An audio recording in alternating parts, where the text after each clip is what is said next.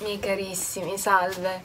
Allora, oggi eh, per chi, e premetto, per chi fosse arrivato per la prima volta qui sul mio canale, mi vedete bloccata purtroppo per un, uh, un, un incidente che non vi sto uh,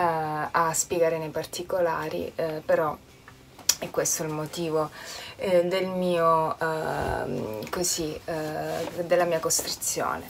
Ma non ci importa, non ci importa assolutamente. Oggi vi voglio parlare di una figura che chiaramente conoscevo, ma che ho riscoperto proprio ultimamente. Eh, occasione eh, di questa riscoperta è stata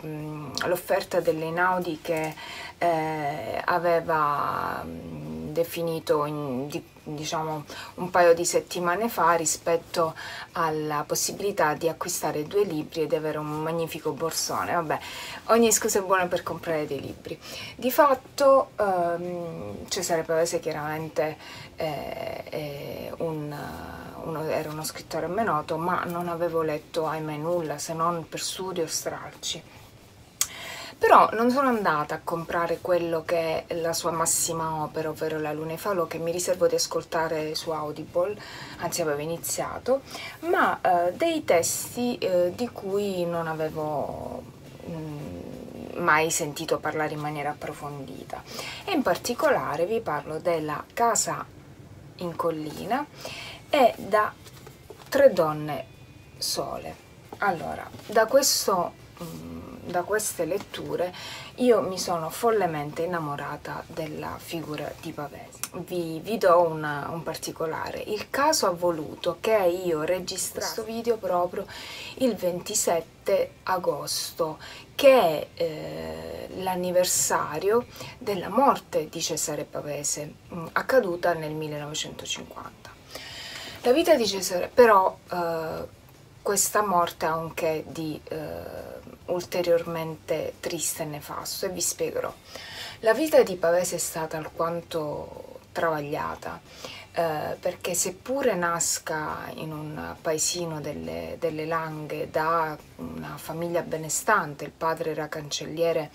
presso il Tribunale di Torino e la madre comunque proveniva da, da un'ottima famiglia, si vede circondato dalla malattia delle, dei, dei, fratelli, il, mare, il, padre che muore giovanissimo e, e, la madre appunto che si deve dare da fare per crescere questi figli. Uh, lui uh, studia a Torino e um, man mano uh, cerca e trova la sua il suo piacere, la sua eh, capacità di eh, studioso eh, in quella che era una letteratura che stava per essere scoperta, ma che scoprì e che importò in Italia proprio lui, quella della letteratura americana. Eh, infatti si laureò con ehm, poi una tesi in, su Walt Whitman eh, e eh, iniziò a insegnare. Eh, insieme di pari passo all'insegnamento iniziò a scrivere articoli, giornali, ma la caratteristica di Cesare Pavese fu quella di essere designato come un essere molto introverso, molto schivo, molto difficile da gestire eh, e eh, contrassegnato quindi da una cupezza che tutti i suoi amici eh, o tutti i suoi conoscenti eh, riporteranno sempre nelle proprie testimonianze. Vi rimetterò un interessante video mm, che è stato eh, caricato proprio su YouTube in cui si fa un ritratto meraviglioso. Si, eh, vedrete le testimonianze di Fernanda Pivano, grandissima traduttrice, eh, di mm, eh, Ferrarotti, di Achille Occhetto addirittura, la famiglia andava a fare vacanza nella, nelle zone in cui gli Occhetto avevano eh, delle, delle strutture, delle, un'abitazione e, ed è commoventissimo perché eh, si nota proprio la eh, capacità di eh, attrarre a sé eh, la gente di, di, Pavese, ma nello stesso tempo eh, l'aspetto respingente che egli aveva, questa, questa eh, sorta quindi di incongruenza di fondo. Il punto fondamentale qual è? I, cap, diciamo, momenti emblematici della vita di Pavese furono quelli dell'innamoramento con la famosa Tina.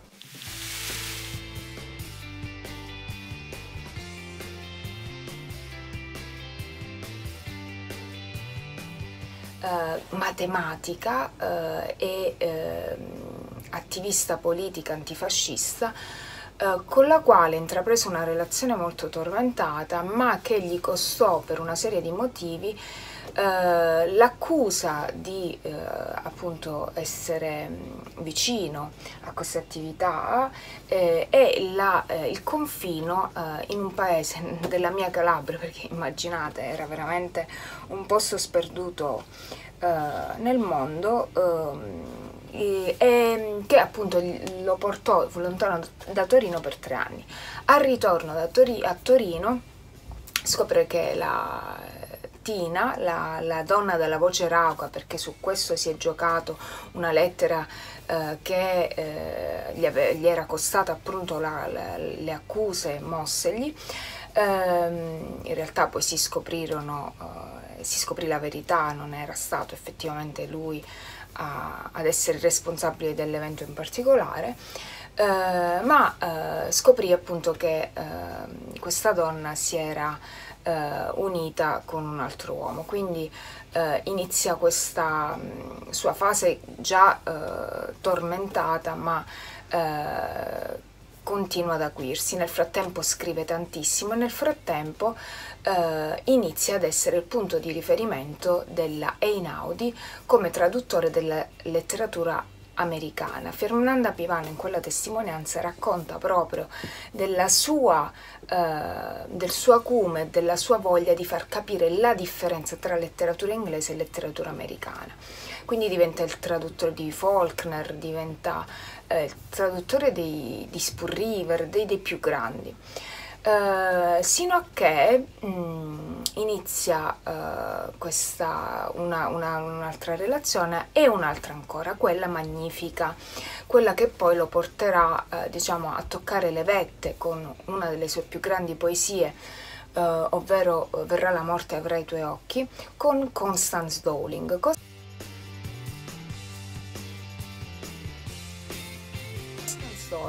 Eh, venne in Italia con la sorella Doris in occasione di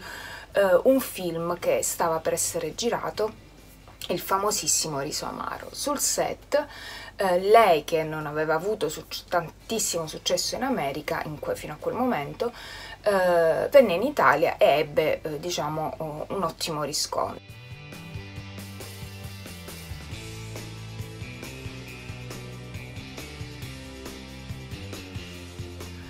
Eh, dalle testimonianze Pavese si innamorò follemente di questa donna, non solo perché era bellissima, metterò delle foto,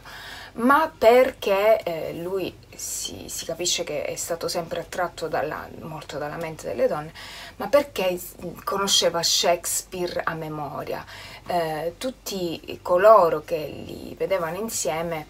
eh, avevano affermato proprio che lui era molto attratto dalla mente di questa donna, solo che questa storia fu ulteriormente travagliata e oltre alla depressione che già lo contrassegnava, tant'è che degli amici dicevano ma noi lo avevamo sentito parlare per tutta la vita, poi ed l'ultima volta mandò delle lettere,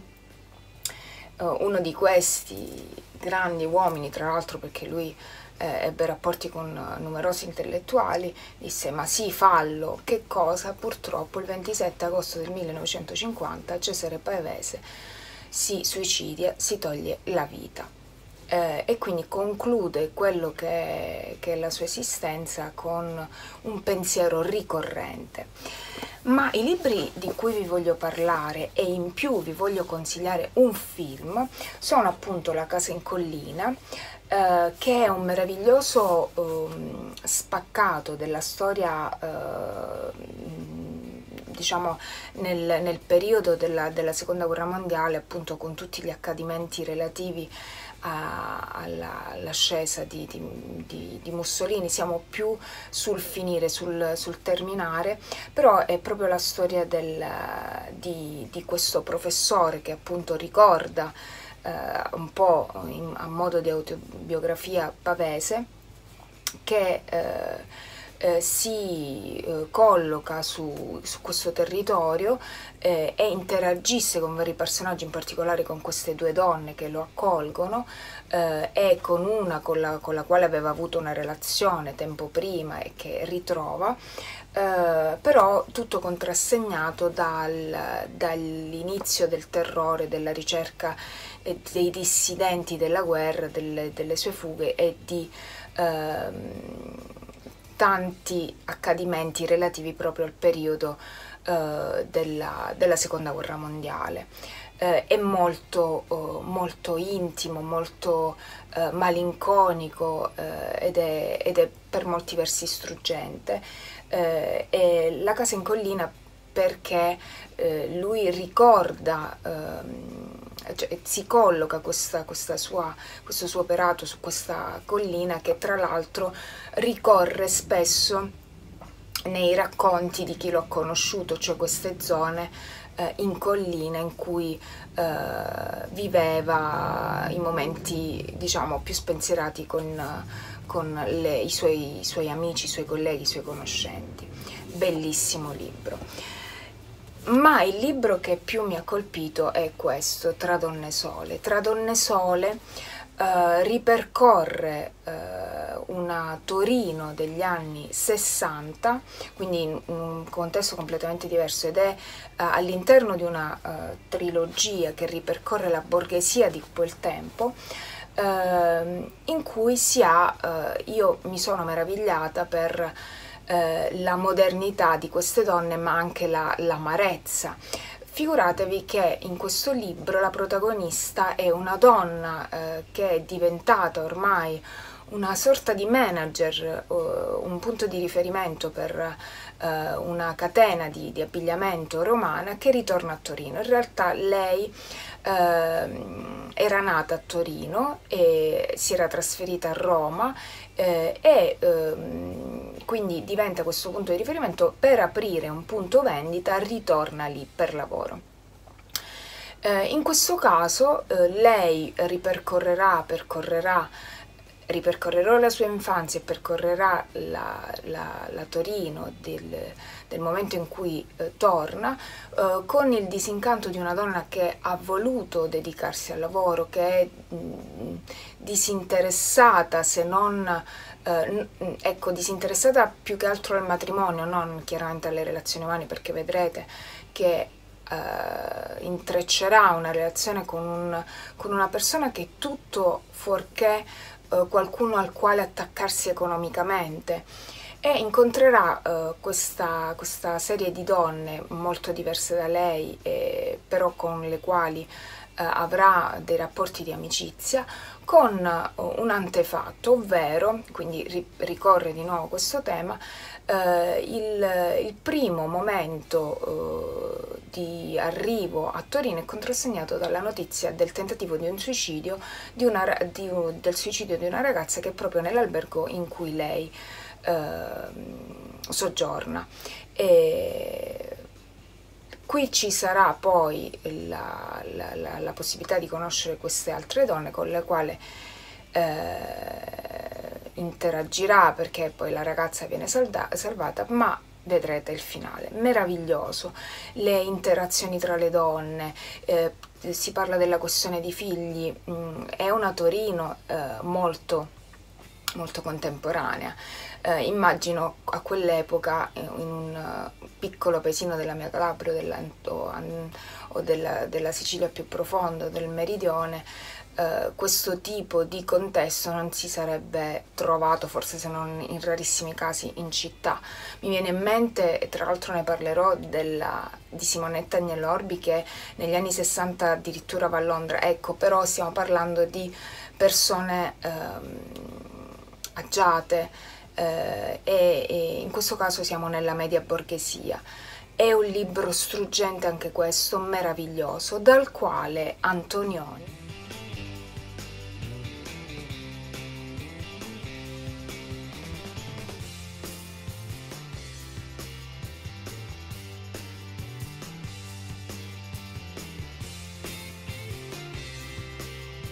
tratto un film che vi segnalo potrete trovare su Rai Play intitolato Le Amiche. Lì ehm, ho, ho, visto qualche piccola differenza, ma è un film, è, lei è meno dura, è più dolce, qui è molto più consapevole. E, e una cosa vi voglio segnalare, in questo libro ci sono due lettere di Italo Calvino, però vi dico, Uh, Italo Calvino è severissimo, dice questo romanzo mi, mi uh, l'ho letto con piacere ma non mi è piaciuto. Al, al, sul finire poi vedrete eh, che Cesare Pavese risponde eh, in maniera altrettanto piccata, eh, ma eh, l'ultima, segnalazione è la lettera di Calvino che aveva 26 anni all'epoca, io credo fosse un intellettuale che stava per avere la sua foga, no? quindi la, la sua foga eh, di colui che deve intervenire con la sua eh, mentalità culturalmente eccellente, però voglio dire anche con toni eh, forse un po' troppo affrettati, però alla fine infatti eh, Calvino parlerà di Pavese eh, come di colui che nella tragicità ha scritto opere meravigliose e scrive una lettera ad Antonioni dicendo avevo paura della del fatto che lei riportasse Tra donne sole al cinema invece è stato eccellente così come eh, insomma ha fatto intendere l'opera di Pavese seppure non fosse proprio eh, nelle sue corde più che altro. Ma è meravigliosa questa testimonianza. Io vi raccomando di riscoprire questo scrittore perché ne vale la pena. Io chiaramente approfondirò con le sue più grandi opere me lo auguro, me lo auguro. Eh, magari non nell'immediato. E vi abbraccio e a presto